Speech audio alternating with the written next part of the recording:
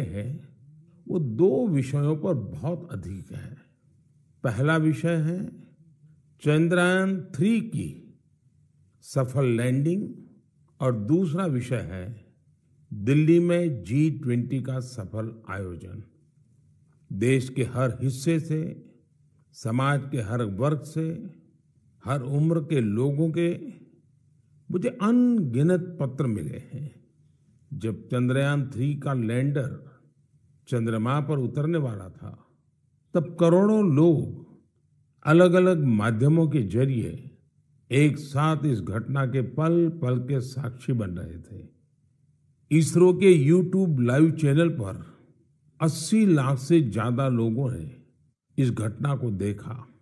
अपने आप में एक रिकॉर्ड है। इससे पता चलता है कि चंद्रयान थ्री से करोड़ों भारतीयों का कितना गहरा लगाव है। चंद्रयान की इस सफलता पर देश में इन दिनों एक बहुत ही शानदार क्विज कंपटीशन भी चल रहा है। प्रश्न स्पर्धा, और उसे नाम दिया गया है चंद्रयान थ्री महाक्विज।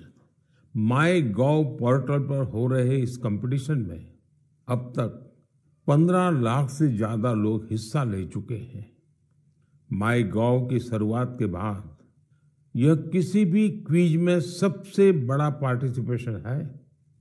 मैं तो आपसे भी कहूँगा कि अगर आपने अब तक इसमें हिस्सा नहीं लिया है तो देर मत करिए। अब इसमें छह दिन और बचे हैं। इस क्विज में ज़रूर हिस्सा लीजिए। मेरे परिवारजनों चंद्रयान थ्री की सफलता के बाद जी ट्वेंटी के शानदार आयोजन ने हर भारतीय की खुशी को दोगुना कर दिया। भारत मंडपम तो अपने आप में एक सेलिब्रिटी की तरह हो गया है। लोग उसके साथ सेल्फी खिंचा रहे हैं और गर्व से पोस्ट भी कर रहे हैं। भारत ने इस समिट में अफ्रीकन यूनियन को जी ट्वेंटी में फुल मेंबर बनाकर अपने नेतृत्व का लोहा मनवाया है।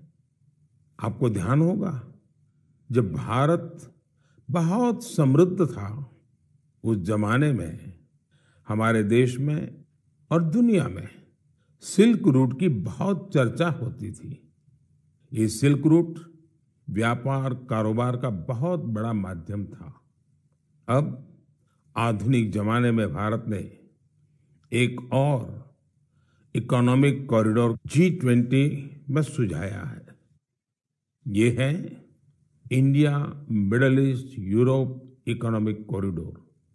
ये कॉरिडोर आने वाले सैकड़ों वर्षों तक विश्व व्यापार का आधार बनने जा रहा है। और इतिहास इस बात को हमेशा याद रखेगा कि इस कॉरिडोर का सूत्रपात